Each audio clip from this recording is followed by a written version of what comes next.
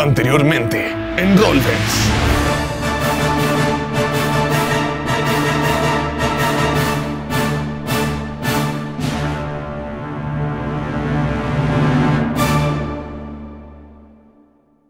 Ahora que entendimos en qué consiste el universo de Warhammer, finalmente podemos introducirnos de lleno en el crudo y emocionante mundo de Warhammer Fantasy RPG. ¿Qué?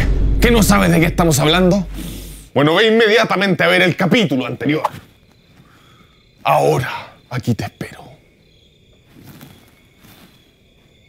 ¿Terminaste? Muy bien, porque lo que vamos a ver a continuación son todas las reglas y elementos a considerar a la hora de jugar dentro de este hermoso y terrible, pero hermoso mundo. Para la creación de personajes hay que tener en consideración el mundo cruel y violento en el que está ambientado. Un imperio xenofóbico, fuertemente estratificado, donde el estatus social dicta el valor de las personas y su lugar en la sociedad. Aquí, las especies no humanas son minoría y no tienen los mismos derechos que los humanos. Y el movimiento social es casi imposible. Si naciste mendigo, morirás mendigo. Aunque tal vez, si tienes suerte y los dioses te sonríen, puede que llegues a ser rey de los mendigos. Este sistema se ve claramente representado en las tablas de creación de personaje, las cuales dan distintos atributos, posibilidades y estatus dependiendo de la raza, clase y carrera. El juego trabaja con las injusticias de la suerte. Para esto, premia con puntos de experiencia a los jugadores que dejen sus decisiones de la mano de los dados. Lo primero que debes hacer es elegir tu especie. Si decides tirar un dado y usar el resultado que te salga en la tabla de especies aleatorias, recibirás puntos de experiencia, que son como una moneda de cambio para mejorar tus habilidades, desbloquear talentos y subir de nivel en este juego. Luego, deberás hacer lo mismo para tu clase y carrera, elegirlos a tu gusto o bien tirarlos al azar y recibir una suculenta bonificación de puntos de experiencia. Aquí aparece de nuevo la mecánica del mundo cruel de Warhammer, ya que tu clase aquí no representa lo mismo que las clases de Pathfinder o Dungeons and Dragons. Aquí no hay clérigos, paladines, bardos o héroes míticos que buscan acabar con el mal. Este es el imperio. Aquí se trabaja para vivir y tu clase determina el lugar donde te tocó nacer y donde morirás. Hay ocho clases sociales distintas, cada una con sus ocho respectivas carreras, entre las cuales tu personaje tendrá que trabajar para poder sobrevivir. Recuerda que en el imperio no todas las especies tienen derecho a perseguir las mismas carreras, solo los humanos. Tu clase y tu carrera determinan en qué trabajas, tu estatus social, habilidades y talentos específicos para tu labor, además de accesorios y un sueldo por tu trabajo entre aventuras. A medida que vayas invirtiendo los puntos de experiencia que ganas en las partidas, irás mejorando en tu trabajo. Las carreras tienen cuatro niveles cada uno, los cuales irán mejorando tus habilidades, tus talentos e incluso tu estatus. Una vez que llegues a dominar tu carrera, puedes decidir cambiarte a otra dentro de tu misma clase. Por supuesto, pagando con los puntos de experiencia. Puedes cambiarte antes de dominarla, pero te saldrá mucho más caro y tendrás que convencer al director del juego para que te deje. Cada carrera tiene una tabla asociada que te irá diciendo el avance de tu personaje. Una vez que hayas elegido tu especie y la carrera asociada a tu clase, debes agregarle los bonificadores correspondientes que dice el manual a tus atributos, habilidades y talentos.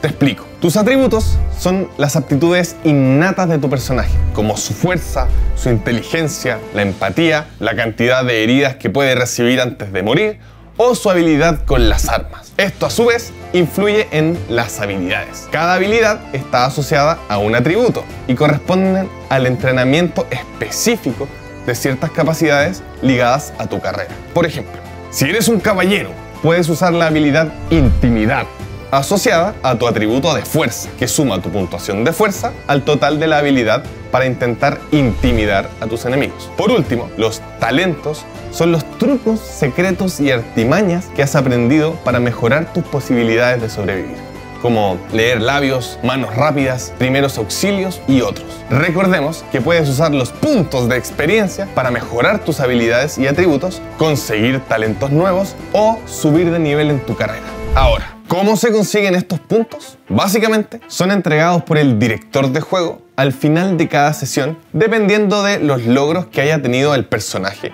o el grupo. También son otorgados cuando tu personaje logra sus ambiciones, que son objetivos a corto o a largo plazo que tu personaje quiere lograr para avanzar en su vida y lograr sus cometidos. Para completar la creación de tu personaje, solo falta darle un nombre, una descripción física de cómo se ve, buscarle una personalidad y una ambición a corto y a largo plazo.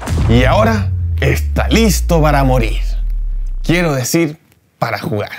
Warhammer Fantasy funciona como un juego de rol tradicional, con un director de juego que narra el contexto y jugadores que se enfrentan a este con las habilidades de su personaje a través de un sistema de dados de 100, o sea, dos dados de 10. Y existen dos tipos de habilidades en este juego, básicas y avanzadas. Las básicas pueden ser realizadas por cualquier persona, con diversos resultados. En cambio, las avanzadas solo pueden ser realizadas por un experto, como la diferencia entre preparar pan o hacer una operación a corazón abierto. Para llevar a cabo una acción con cierta dificultad, se debe escoger una habilidad asociada a la prueba que se quiere realizar y lanzar un dado de 100. El resultado se debe comparar con el puntaje de la habilidad asociada y si es igual o menor, se considera un éxito. Pero si es mayor, se considera un fracaso y tu personaje no logra llevar a cabo la acción. Esto se denomina un chequeo sencillo. Por ejemplo, si un personaje quisiera pasar una muralla que tiene la puerta cerrada con llave, podría realizar un chequeo de la habilidad básica escalar, la cual no tiene entrenada, pero que al ser básica puede usar igualmente, usando el puntaje de su característica asociada. En este caso, fuerza de, por ejemplo, 35. Al tirar el dado, debe sacar 35 o menos para lograr escalar la muralla. O bien, puede intentar usar la habilidad forzar cerraduras, la cual tiene entrenada por ser un ladrón, que sería más adecuado ya que suma el puntaje de su característica destreza con el de la habilidad forzar cerraduras, lo cual suma 60, por ejemplo. Un número mucho más fácil de superar. Si el director de juego quisiera subir la dificultad de la prueba, digamos que la pared está resbaladiza o la puerta tiene un sistema complejo de seguridad, puede añadirle dificultad restándole sumándole, si la quiere hacer más fácil, de a 10 en 10 el puntaje de habilidad por superar. Para escalar la pared resbaladiza, tendría que tirar por debajo de su fuerza, 35, menos la dificultad añadida por el director de juego. Al ser una superficie difícil, le resta, por ejemplo, menos 20 puntos, lo que significa que el dado debe dar 15 o menos para que se considere un acierto. Eso sí, si sacas entre 1 y 5, se considerará un éxito automático. Mientras que si sacas entre 95 y 100, se considerará un fracaso automático. Y no hay nada que hacer.